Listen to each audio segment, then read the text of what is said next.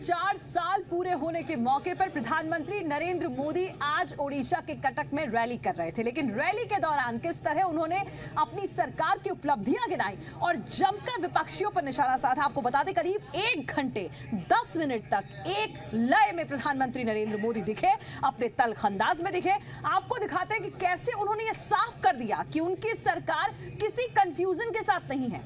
Commitment वाली सरकार है। जब देश में कंफ्यूजन नहीं कमिटमेंट वाली सरकार चलती है, तभी सर्जिकल स्ट्राइक जैसे फैसले लेने की ताकत रखते हैं।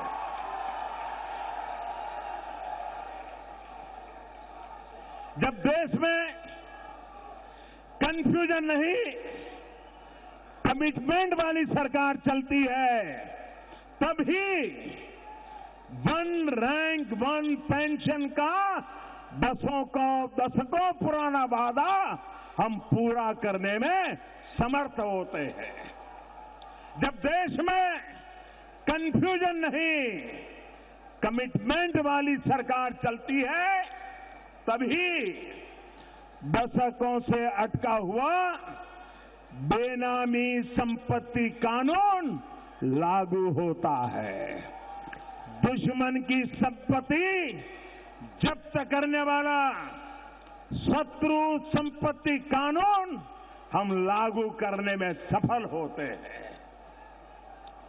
जब नीतियों से जानबूझकर कंफ्यूजन नहीं फैलाया जाता जब कमिटमेंट वाली सरकार चलती है, तब बैंकों से कर्ज लेकर न लौटाने वाली कंपनियों को भी अपनी तिजोरियाँ खोलनी पड़ती है और देश को उसका पाई पाई वापस देने के लिए मजबूर होना पड़ता है। कमिटमेंट वाली सरकार की बात करते करते प्रधानमंत्री नरेंद्र मोदी विपक्षियों पर हमला करना नहीं भूले। उन्होंने कहा कि हमारी सरकार जनपथ से नहीं, जनमत से चलती है। और परिवार वाली परिवारवाद वाली बात एक बार फिर से दोहराई। ये याद रखना ज़रूरी है कि जिसे एक परिवार ने, जिस एक परिवार ने 48 ईयर, अड़तीस साल देश पर राज किया, उसने देश की कितनी परवाह की। ये याद रखना ज़रूरी है कि फैमिली फ़र्स्ट फैमिली फ़र्स्ट के आगे नतमस्तक कांग्रेस के 48 साल में पीढ़ी दर पीढ़ी कैसे एक परिवार के लिए सत्ता ही सत्ता के सिवाय कुछ नहीं। सत्ता ही सब कुछ रही कौन भूल सकता है? लाखों करोड़ों के घोटालों की वो खबरें देश विदेश में शर्मिंदगी की वजह बनने वाले वो भ्रष्टाचार के कारनामे देश के विकास से ज़्यादा अपनी और अपनी टोली के विकास के लिए किसी भी हद तक चले जाने की करतूतें।